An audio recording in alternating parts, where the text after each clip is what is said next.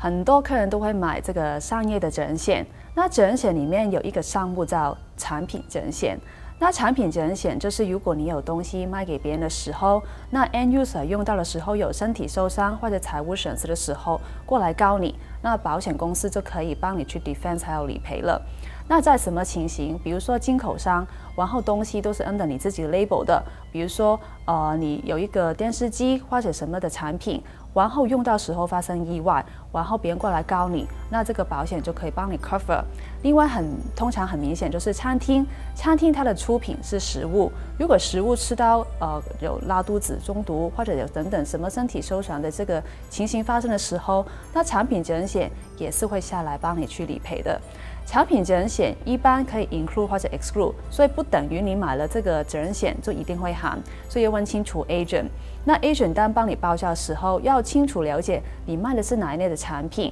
然后保险公司会根据产品的风险，然后给你报价。还有一年的营业额也是很重要的一个资料，因为如果你是一个一百万的进口商跟一个一千万的进口商，你的风险就来的不一样了。那所以你的 sales 越高的时候，营业额越高，你的保费就越来越高。那我记得，其实产品责任险它除了帮你在理赔方面会帮你做 settlement。然后也会含这个律师的费用。那所以在美国做生意的时候，很多进口商或者你的产品会卖给别人的时候，都一定要有买这个产品责任险。还有，因为在美国做生意，你的客户也要求你一个 certificate，证明你有产品责任险。通常客人会按照他的客人的要求去买。那所以你可以把客人的要求给 agent 知道，然后 agent 就给他呃一个适合的一个保险。还有要记得，因为每一个产品风险不一样的时候，要给 agent 有时候给他 website 也是很有用。那如果你在盘产品本险有任何问题，